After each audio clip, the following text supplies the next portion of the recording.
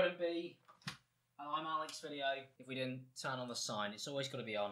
Ignore everything uh, amongst that, please. And I'm going to sit in the chair and you won't be able to see it. I love that. Spent all that money on a sign. You can't even see it. Happy birthday, 22. Hello everyone, I'm Alex. Welcome back to another video. Um, today, we're going to be answering questions and assumptions. Hopefully, you guys are not going to just be like asking questions about, you know, what's it like being so old?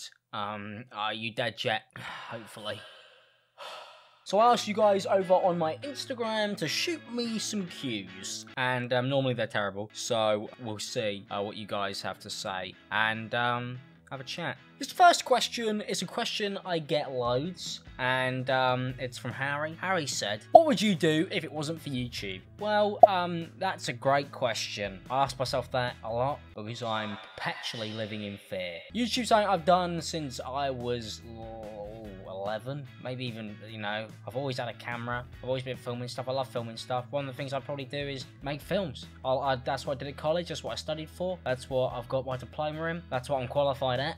I can make film. And I would still like to do that. That's something I will do. Maybe not now. Maybe not in my 20s. I like working on little things here and there and trying to integrate them into YouTube. I don't know, man, something video related. I just released a song called Lil Revenue Meat Feast, which is now on all platforms, by the way. Uh, link below. You could stream it and you can buy it if you really want to. God, I, uh, well, I'd appreciate it. And one of my favorite things about making music is being able to do the videos, man. I love doing the videos. They're the best bit. Uh, the music bit, it, it, I, I try and get that to be good as I can, but I love doing music to do music videos. I, I, love just video. I love making a cool video, especially with limited budget and ability. I, would like to say the ability isn't too terrible. But yeah, man, that's what I'd probably be doing. That or like trying to figure out how to play my ukulele more, which is um something I do a lot.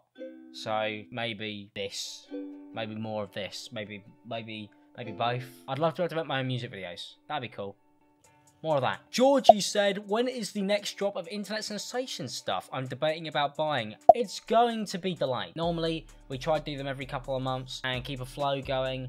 But to be honest, it's not possible really with, you know, the, the big thing going on at the moment uh, that cannot be named ever, unfortunately. Because for some reason, we're not really allowed to talk about it. I don't think the internet likes it. I don't think that the, the, the company people like it. So uh, so it's just the, the pandemic that cannot be named. But I'm working on stuff. I've got tons of designs. I haven't really passed anything over yet because I'm not happy with it. And the clothing is my life. I love doing that, man. That's one of my biggest passion projects. I don't like just rushing stuff out on there. I want it to be good, because if it's not good, why would you wear it? You know, clothing's important. You gotta wanna wear it. I can't just make it. And the way I get there is I go, do I want this? And I just make what I want. And I wear it and I go, hopefully other people will. And that is how I do it. And currently, I haven't pieced something together yet, which I want to wear. And until I could do that, there won't be anything. But hopefully, some point this year, I want it to be really cool. And I'm working really hard on it. And hopefully it will be great. So thank you for everybody who does support the clothing, who is an official internet sensation. I appreciate it. Keep tagging me on Instagram and Twitter. And also, don't forget to follow the Instagram and Twitter for the socials on those accounts so you know when stuff is coming out. I appreciate that and thank you for supporting it. And there will be stuff soon. It means a lot.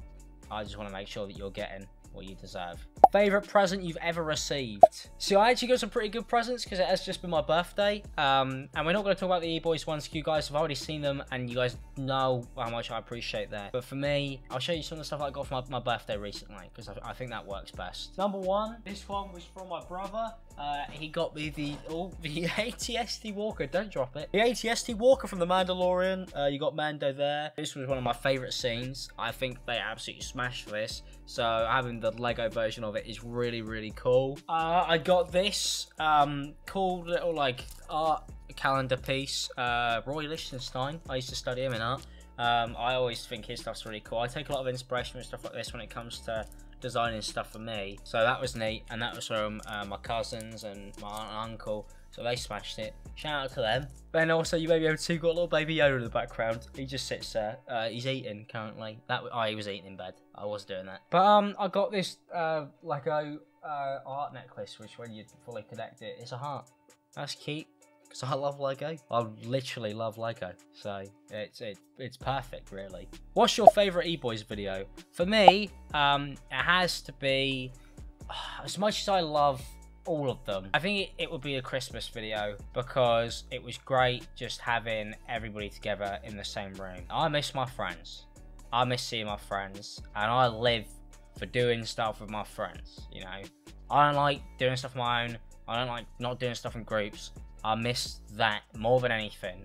Um, that is me. That's my life. That's always how it's been. I've always just been somebody who wants to be around everybody. So I have to do that because the last time we could really do that and it'd be relatively okay. And it's a shame. It's a shame because we had so much fun on that shoot, and it almost felt like, oh, this is going to be the last one for a while. We were all trying to convince ourselves it was going to be more for a while. With the pandemic and everything going on, it just felt too risky to continue to risk it.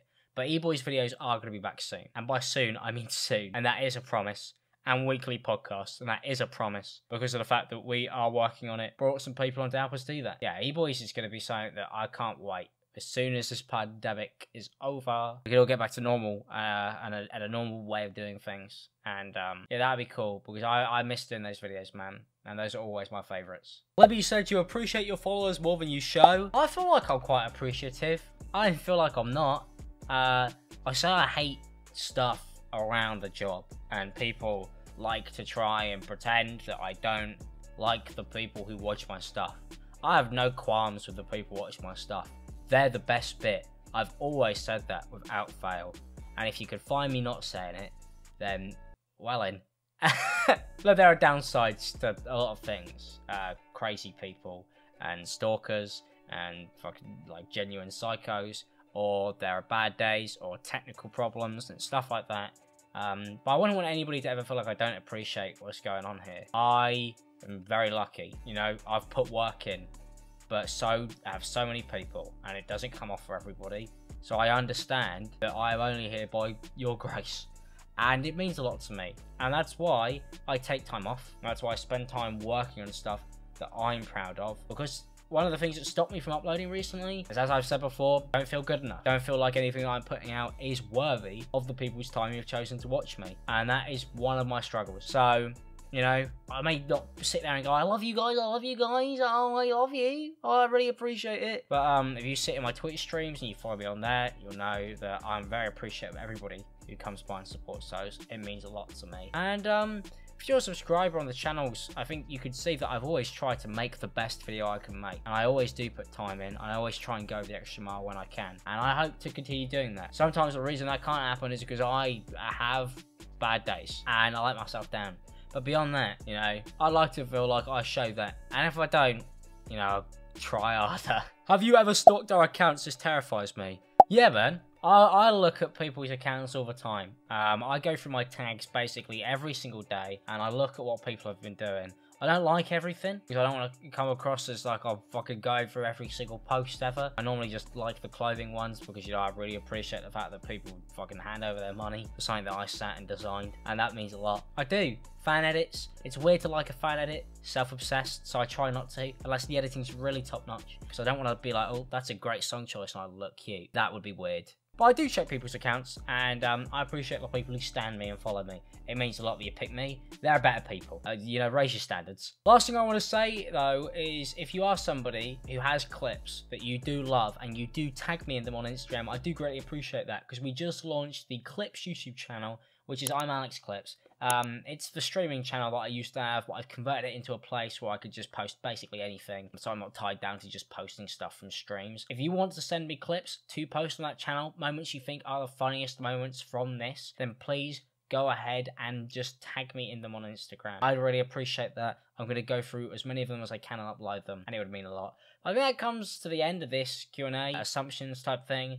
Thank you guys for sending stuff in again. I appreciate it. Without you, I wouldn't have a video. I'll catch you guys soon. I've been slightly, you know, just kind of working on main channel videos at the moment. So me and Connor, who edit these, have just been kind of, you know, trying to get as much stuff out as possible. But we appreciate it. Thank you for watching. Thank you for subscribing. And um, there'll be a new collaboration video out in the next few days with George. So look out for that. And don't forget, leave a comment because I'm going to start doing comment of the week and I'll feature your comment in the next video. Peace out, people. Subscribe if you're new, turn notifications on, like the video, and have a good day.